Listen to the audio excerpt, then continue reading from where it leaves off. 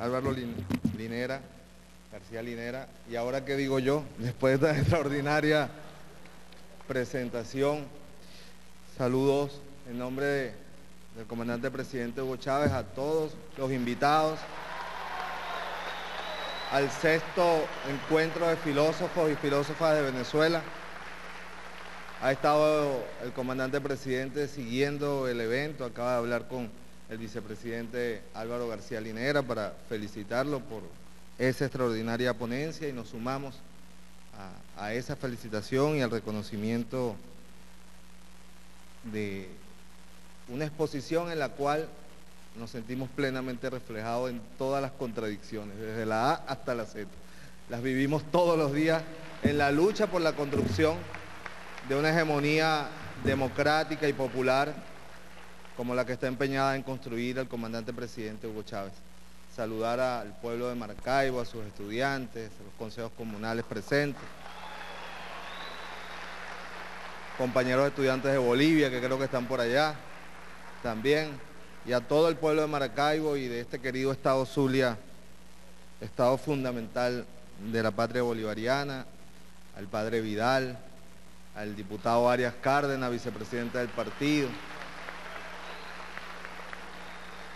al general Arevalo Méndez, presidente de Corpo Zulia, y a todas las autoridades, al embajador de Ecuador en Venezuela, a nuestra embajadora en Bolivia, Cris González, a nuestro embajador de Bolivia en Venezuela, y al ministro de Cultura, y a Carmen Borges, y a todos, todas compañeras, en nombre del presidente Chávez y de todo nuestro gobierno y de nuestro pueblo, un saludo fraterno y solidario. Bueno, simplemente expresar el honor y la alegría de tener aquí a un bolchevique, camarada, vicepresidente Álvaro García Linera, vicepresidente del hermano presidente Evo Morales, hermano y amigo del pueblo venezolano.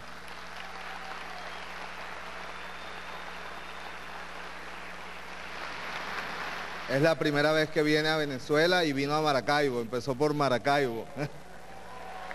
en una, en una de las ciudades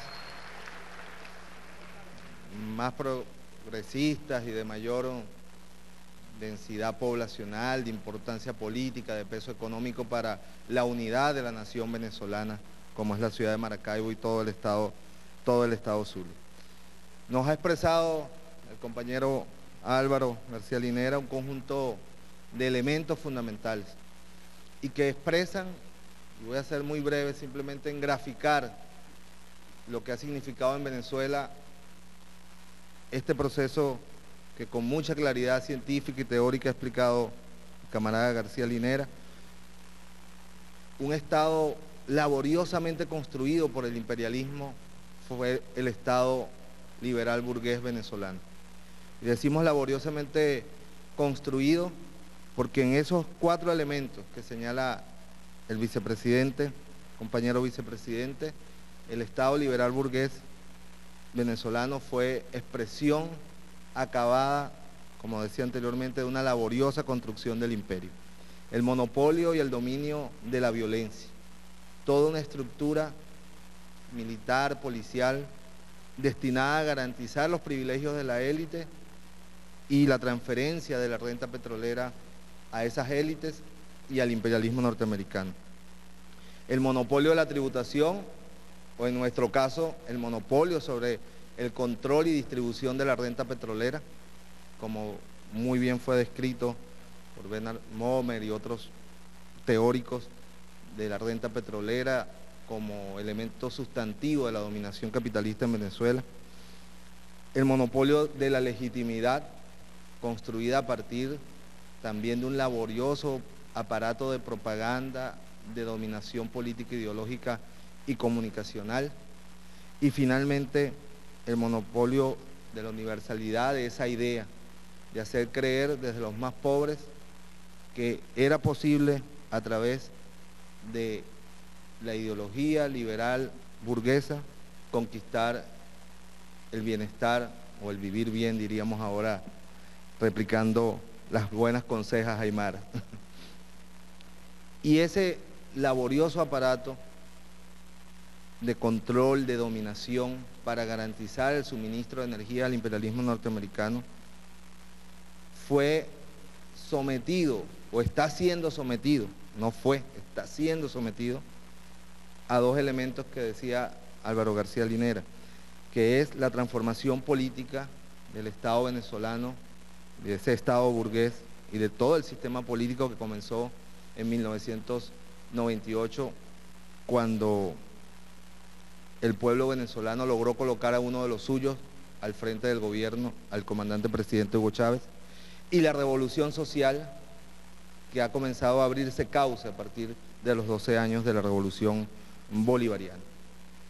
Ahora es importante entender que esa construcción de una nueva hegemonía democrática popular para desplazar la hegemonía liberal burguesa supuso un conjunto de condiciones. La primera, el quiebre, el quiebre de la dominación política e ideológica que pudo hacer el pueblo, producto de unas condiciones objetivas donde las élites no pudieron seguir redistribuyendo las migajas al pueblo venezolano y tuvieron que restringirlas y crear unas condiciones objetivas para la protesta, para la resistencia, para la rebelión del pueblo venezolano, que fue respondida por esas élites con el último instrumento que le queda al Estado liberal burgués cuando no tiene, cuando se le quiebran todos los mecanismos de dominación, y fue la represión abierta, que tuvo su máxima expresión el 27 de febrero de 1989 y consecuentemente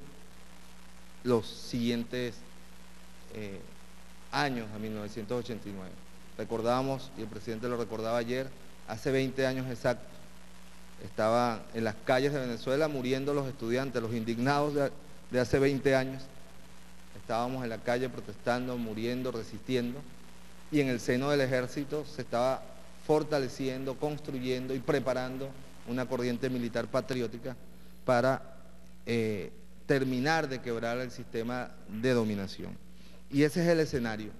Y aquí quería destacar ciertamente, desde 1989 hasta 1992, cuando se produce la rebelión militar, el pueblo venezolano habría, había hecho una ruptura con la hegemonía política, con la hegemonía institucional, con la hegemonía social. No la había podido hacer no tenía cómo con la hegemonía de la violencia y no tenía claridad de cómo confrontar la, hegemonía ideológica del sistema. El 4 de febrero le dio al pueblo venezolano, en primer lugar, el quiebre de la hegemonía de la violencia del Estado como instrumento último de dominación y le dio un liderazgo, el líder, el comandante Chávez, para disputar la hegemonía política e ideológica al sistema.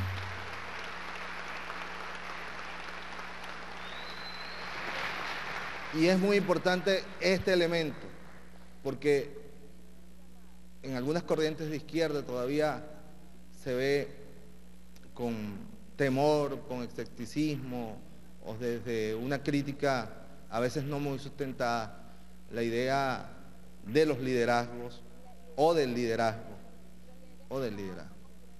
Y eso en Venezuela es claramente, o es posible claramente reflexionarlo en ese periodo. Entre 1989 y 1991, el pueblo venezolano hizo todo lo que podía hacer, de lo que disponía, para quebrar la hegemonía, pero no podía, porque como dice el presidente, no tenía poder. Y ese poder se lo dotó el liderazgo, un liderazgo que tiene una expresión en un hombre que en este caso y en nuestro caso es Hugo Chávez, un revolucionario de izquierda, un humanista profundo, y esa es la gran fortuna del pueblo venezolano. Y a partir de allí el pueblo venezolano siguió batallando, pero ahora con conducción política. Y eso le permitió lograr posicionarse en el gobierno. Pero la posicionarse en el gobierno para el bloque popular democrático no era suficiente para poder hacer la revolución.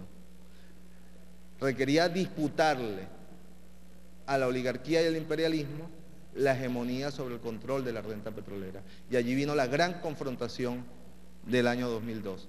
Fíjense que el adversario, las élites, no opusieron mayor resistencia al avance y a la construcción de la nueva hegemonía en tanto que pensaron que podían hacerla funcionar, funcionalizarla, reconvertirla y transformarla en un elemento de estabilización y de reacomodo de las élites. Pero cuando el bloque democrático popular que lideriza el comandante Hugo Chávez fue por algo que era fundamental para poder avanzar en una revolución que nos permita sacar a nuestro pueblo de la pobreza y poder construir una sociedad para el vivir bien, el imperialismo y la oligarquía puso límite de resistencia. Y fuimos a la confrontación política militar popular del 2002 que una vez más el pueblo venezolano logró coronar con una gran victoria, con la estabilidad de la revolución y con el control por primera vez en la historia de Venezuela por parte del pueblo venezolano de la renta petrolera. Que no quiere decir que las oligarquías todavía no medren de la renta petrolera, pero no tienen el control. Y ahí está las grandes disputas que vienen de cara a la próxima, a la década que estamos entrando y de cara al, al 2021-2031. Que la redistribución de la renta efectivamente sea igual para todos. Y esa es la gran tarea de la revolución bolivariana y socialista en las próximas décadas. Tenemos el control de la renta, pero todavía no de la distribución de la renta. Y eso es un tema fundamental para la construcción del socialismo venezolano. Podemos decir hoy día que Venezuela puja fuertemente entre la cultura, como diría Samir Amin, que es la recuperación del valor del trabajo humano para la satisfacción de necesidades, frente a la contracultura o a la no cultura, diría Ludovico Silva en Venezuela, del capitalismo, que es seguir usando el valor del trabajo humano como mercancía. Ese es el gran debate.